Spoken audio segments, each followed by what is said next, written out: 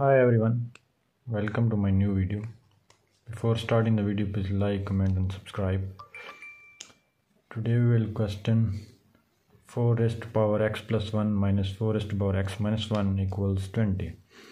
We have to solve it for x. We can write 4 power x plus 1 as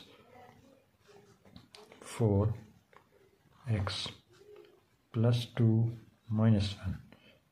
because 2 minus 1 is plus 1 minus 4 power x minus 1 as it is equals 20 there is a formula that a power m plus n can be written as a power m times a power n. We'll use formula here. 4 power x minus 1 times 4 power 2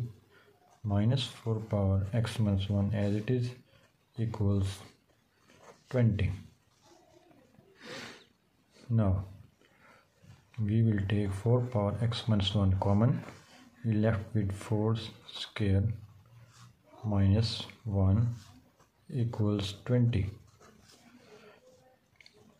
it will be 4 power x minus 1 4 square 16 16 minus 1 equals 20 or 4 power x minus 1 15 equals 20 we will divide both sides by 15 15 cancel with 15 5 times 4 20 5 times 3 15 now we left with 4 power x minus 1 equals 4 over 3 we will take log on both sides log of 4 power x minus 1 log of 4 by 3 now we will use two formulas one for the left side and one for the right side. That is log of a power b equals b times log of a this formula is for left side. Now for right side log of a by b can be written as log of a minus log of b. So we will use both these formulas in the above equation. So the equation becomes x minus 1 log of 4 equals log of 4 minus log of 3 now we will divide both sides by log of 4 log of 4 log of 4 log of 4 cancel log of 4 so we left with x minus 1 equals log of 4 by log of 4 minus log of 3 by log of 4 here log 4 cancel log 4 we left with x minus 1 equals 1 minus log of 3 by log of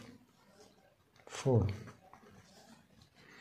here we will use another formula for these terms.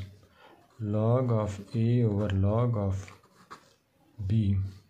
can be written as log of a with the base b and here mm, minus 1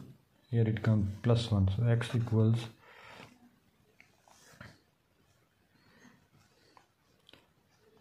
one minus log of 3 with the base 4 and this plus 1 so we have x equals 2 minus log of 3